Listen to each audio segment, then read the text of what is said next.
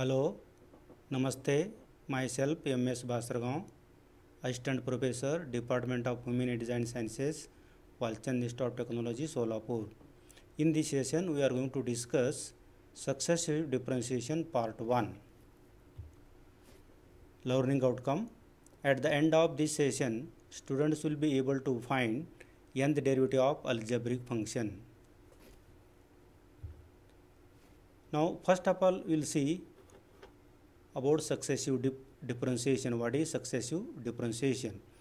When a function has been differentiated once, the result may be again differentiated and the process repeated indefinitely is called successive differentiation. And notation for the successive derivatives of y equal to f of x are we are denoting the first derivative by dy by dx, second derivative by d square y by dx square, third derivative by d cube y by dx cube and so on. nth derivative can denote d raised to n y by dx raised to n. Or in short, for the sake of convenience, we can make use the symbols y suffix 1 that is for dy by dx, y suffix 2 for d square y by dx square and y suffix 3 for d cube y by dx cube and so on. For n derivative we can denote y suffix n or also we can denote f dash of x, f double dash of x, f triple dash of x and so on f raised to n of x for writing the derivative of the function y equal to f of x. Now, first of all, we will see the n derivative of some elementary functions. In that, first one is algebraic function that is y equal to ax plus b raised to m. Now, differentiating y equal to ax plus b raised to m with respect to x, we get y1 that is first derivative of y with respect to x. Here we are denoting y suffix 1 means dy by dx is equal to derivative of ax plus b raised to m is m into ax plus b raised to m minus 1 into derivative of ax plus b that is a. Similarly, differentiating this first derivative with respect to x, we can denote y suffix 2 means second derivative that is m into m minus 1 into ax plus b raised to m minus 2 into a into a that is what a square. Similarly, differentiating the second order derivative with respect to x, we get the third order derivative that is y suffix 3 which is equal to m into m minus 1 into m minus 2 into ax plus b raised to m minus 3 into a cube. Now, after generalizing, after n differentiation, we can write yn that is comparing y1, y2 and y3 we can write the n derivative which is equal to m into m minus 1 into m minus 2 and so on. And there will be m minus of n minus 1 that is comparing here first, second and third derivative. Here we can write m minus of n minus 1 into a raised to n into ax plus b raised to m minus n if n is less than m let us call this as equation number 1 here you get three cases. This is the derivative. If order of the derivative is less than m. If m is equal to n then we get yn is equal to n into n minus 1 into n minus 2 and so on. We get 3 into 2 into 1 into a raised to n and which is you can write n factorial into a raised to n that is substituting m equal to n. In the above result we get yn equal to n into n minus 1 into n minus 2 and so on 3 into 2 into 1 into a raised to n. That we can write n factorial into a raised to n. And if n is greater than m that is if order of the derivative is greater than m then nth derivative of the function will be ax plus b raised to m will become 0 that is yn is 0 this is the first case. Now second case if y equal to ax plus b raised to minus m or we can write y equal to 1 upon ax plus b raised to m.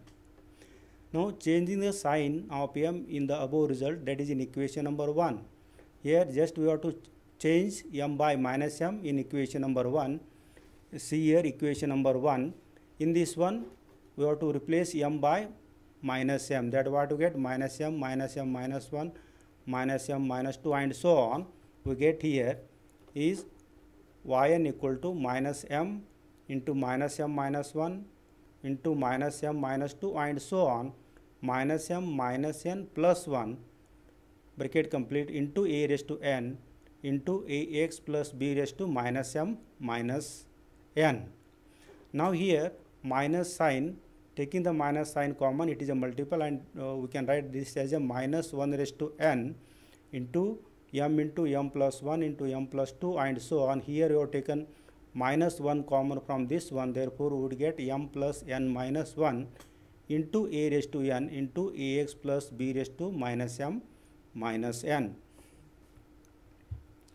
Now here we will simplify the result Uh, for the sake of simplicity we will adjust the term and we will write the n derivative in simplified form which is equal to c. Will I will write minus 1 raised to n reversing the order m plus n minus 1 into m plus n minus 2 and so on m plus 1 into m just by reversing the order. And here m minus 1 into m minus 2 and so on in 3 into 2 into 1 here we have taken these we have multiplied by extra term and we are dividing by the same term that is m minus 1 into m minus 2 and so on 3 into 2 into 1 into a raised to n by ax plus b raised to m plus n. Now we will write this in simplified form keeping minus 1 raised to n as it is. Here we have taken m plus n minus 1 and so on up to 3 into 2 into 1. This complete expression we can write as m plus n minus 1 factorial and denominator m minus 1 into m minus 2 and so on 3 into 2 into 1 we can write m minus 1 factorial into a raised to n divided by ax plus b raised to m plus n. Let us call this as equation number 2. That is here just we have, we have simplified here multiplying and dividing by the same quantity that is m minus here we have multiplied m minus 1 into m minus 2 and so on up to 1 and also you have divided and you have written the result in simplified form. Now third case if y equal to 1 upon ax plus b then yn is equal to minus 1 raised to n into n factorial into a raised to n upon ax plus b raised to n plus 1. Now to get this result putting m equal to minus 1 equation number 1 that we already seen for uh, equation number 1 general case in that you have to substitute m equal to minus 1 that is y equal to ax plus b raised to minus 1 which you can write 1 upon ax plus b. Then from equation number 1 you get yn is equal to minus 1 into minus 2 into minus 3 and so on minus n into a raised to n into ax plus b raised to minus 1 minus n and here taking minus 1 common we will get minus 1 raised to n into 1 into 2 into 3 and so on n into a raised to n into ax plus b raised to minus 1 minus n.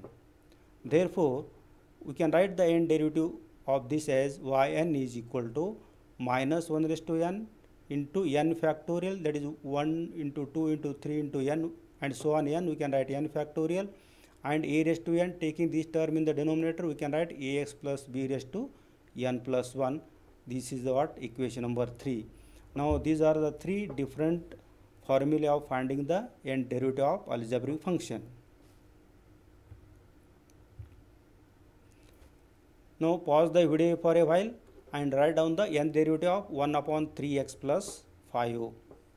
I hope you have completed. Let y equal to 1 upon 3x plus 5. Therefore, yn is equal to minus 1 raised to n into n factorial into 3 raised to n divided by 3x plus 5 raised to n plus 1. Just now you have seen if y equal to 1 upon ax plus b then yn equal to minus 1 raised to n into n factorial into a raised to n divided by ax plus b raised to n plus 1. Here a is if you compare this 1 upon 3x plus 5 here a is 3 and b is 5. This was the n derivative of the given function 1 upon 3x plus 5. Now will see the example. Find the nth derivative of x plus 3 upon x minus 1 into x plus 2. See this is an algebraic expression. Let y equal to x plus 3 upon x minus 1 into x plus 2. here we cannot write the n derivative of this function directly. Therefore we have to make use of partial fraction to express this function in the form of 1 upon ax plus b. Let x plus 3 upon x minus 1 into x plus 2 is equal to a upon x minus 1 plus b upon x plus 2 because you are already familiar with how to take the partial fraction for a given function. Here the degree of the numerator is 1 and degree of the denominator is 2 therefore and two factors are linear and distinct. Therefore we can write x plus 3 upon x minus 1 into x plus 2 equal to a upon x minus 1 plus b upon x plus 2 and now we have to multiply both side by x minus 1 into x plus 2 we get therefore x plus 3 equal to a into x plus 2 x minus 1 will get cancelled plus b into x minus 1 and x plus 2 will get cancelled. Now here our aim is to find a and b. Therefore we have to choose the suitable values of x. Now to find a putting x equal to 1 both side left, left hand side 1 plus 3 that is 4 and putting x equal to 1 what you get? A into 1 plus 2 that is 3 3a and this second term will become 0 therefore what you get? A equal to 4 equal to 3a therefore a equal to 4 by 3 now similarly putting x equal to minus 2 to find b both side. Put x putting x equal to minus 2 on left hand side you get minus 2 plus 3 that is 1 and putting x equal to minus 2 first term will become 0 b into minus 2 minus 1 that is minus 3b therefore b equal to minus 1 by 3. Now substituting the values of a and b here we get the given function the given function can be written as y equal to a that is 4 by 3 into 1 upon x minus 1 and b is minus 1 by 3 that is minus 1 by 3 into 1 upon x plus 2 and now here we have expressed the given function in the form of 1 upon ax plus b and now we are able to write the n derivative of the given function. See therefore yn equal to now we can compare the given function with 1 upon ax plus b. If y equal to 1 upon ax plus b then yn equal to what we have minus 1 raised to n into n factorial into a raised to n upon ax plus b raised to n plus 1. Now here you comparing uh, with 1 upon ax plus b here a is 1 and b is minus 1 in case of first one see here you can compare here in this first case a is 1 b is minus 1 and in second term also a is 1 and b is 2 therefore n derivative is 4 keeping 4 by 3 as it is and the n derivative of is minus 1 raised to n into n factorial divided by x minus 1 raised to n plus 1 applying this formula.